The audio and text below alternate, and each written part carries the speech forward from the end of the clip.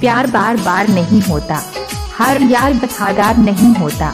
ये तो दिल मिलने की बात है। वरना कई बार साथ फेरे लेने के बाद भी प्यार नहीं होता।